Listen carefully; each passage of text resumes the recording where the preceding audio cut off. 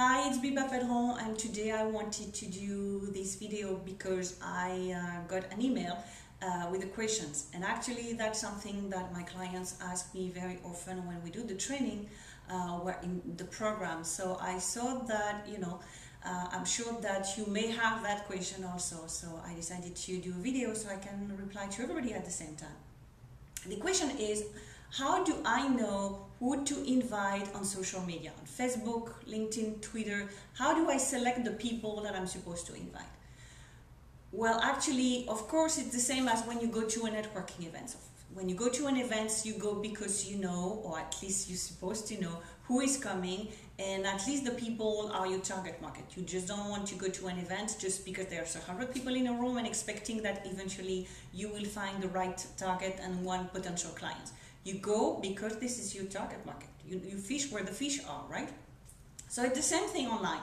You know, networking online or social media, networking live or social media, it's exactly the same way. You use the same strategy. So in order to find the people that you are your target market online, what you do, you select different groups.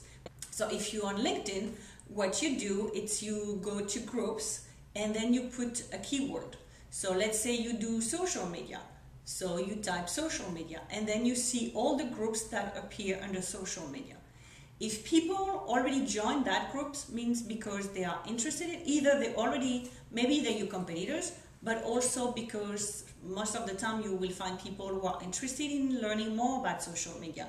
So if there's like 200, 500 or 1000 members in that group, you know that those people will be your target market because they have an interest in social media. And I would say even if they're your competitors, because they will have a way to find you and to see you, and you can do partnership with those people. So it's a way for you to find clients or to find partners. So when you find a group that works with your target market, you check, you know, which groups have the most of the people. And then what you do every day, you invite some people. You know, on LinkedIn you have invite this person, so you invite them.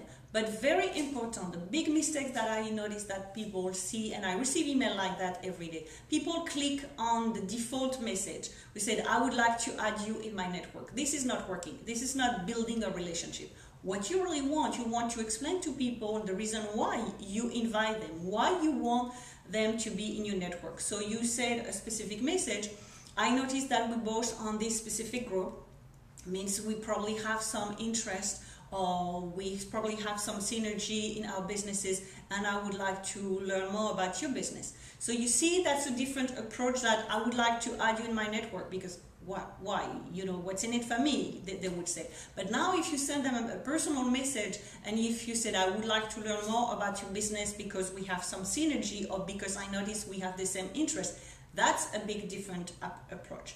So you can do that on LinkedIn and usually on LinkedIn you can invite like 10, 20 people a day because if you invite too many then you know LinkedIn will block you because they will probably consider that you're trying to spam people. So you can invite, you know, if you have time 10, 20 people a day.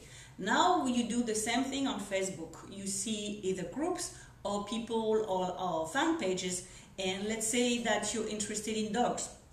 You find a fan page where it's related to dogs and then you invite you see who is the member who uh, already liked this page means if they in the on that page because they love dogs. So if you sell a product for specific for dogs or if you have a pet store or something like that well you know that definitely those people are really your target market so you same thing you send them a message and you tell them the reason why you contact them don't say you know just click on the bottom invite and don't say anything that won't work you know some time I have clients say, oh, I click on the button, I invite everybody, but nobody replied. Of course, you don't invite a conversation. You know, it's like you go to a networking event, you arrive in front of of a person and say, do you want to be my friend? You, you don't act that way when you go to a networking event. So it's the same thing online. Don't act online in a way that you won't do live. So always send a personalized message. First of all, you say hi and you put the name, the first name, and then you put like a message which can be like one or two lines. You know, it, it doesn't have to be very long. And but explain the reason why you want them to be on your network or you want to connect them, and that's how you will build a relationship. On Facebook, I would say that don't try to invite more than five or six people a day. Other than that, at some point, Facebook the same. They will block and they block you quicker than, than LinkedIn. But try to do that every single day. If every single day you invite five people on Facebook and five people on LinkedIn that are your target market, and you know, if you find them on LinkedIn, then you know you try to find them on Facebook. I say thanks for accepting my connection on LinkedIn. Let's connect here on Facebook also. So that way, wherever they use the most, maybe they use LinkedIn most, maybe they use Facebook the most, you know that you will be able to connect with them. And when you do that every single day, you will see that definitely you will grow your network, you will grow your friends, but at least you have more friends who are people related to your target market. So, which means those people, when you connect with them at some point, the purpose is to bring them back to your website or to your blog to sign up for your free offer if you have one or, or for your newsletter. And those people, you know, after when they in uh, on your newsletter, uh, you start the selling process eventually. So, which means those targeted people, at some point, you will turn them as clients. So that's how you pick people on social media and you make sure that you invite people that have an interest in what you do, but you build a relationship with them.